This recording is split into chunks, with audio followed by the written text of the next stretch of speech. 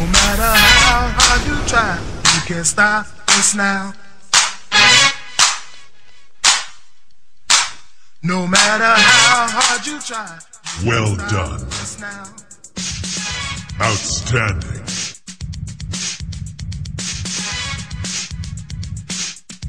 Impressive.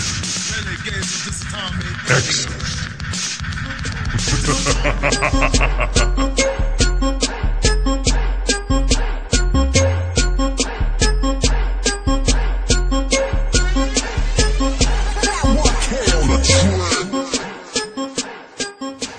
Black Ops 2 got you down?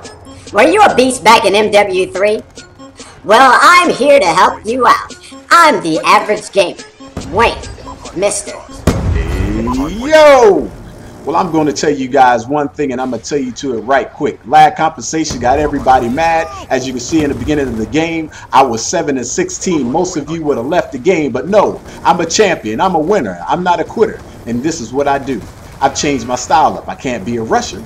So I better be a little more tactical, a little more strategic. Better yet, Camp. Yep, you better camp. If you want to get your score streaks, you better do something. Don't try to be like those other commentators. You better be more like me.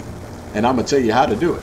Run low kill streaks, run UAV, run hunter killer drone. That's going to get you at least one kill. And run your care package. Because if you can't get the high score streaks, at least you can get a care package and it's going to get you something nice and decent. So at least you can feel like, hey, I'm doing something in the game.